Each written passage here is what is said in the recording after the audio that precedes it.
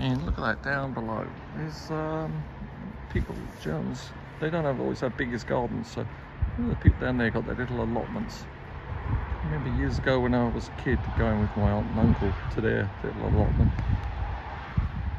Yeah, beautiful place, amazing, amazing place to visit.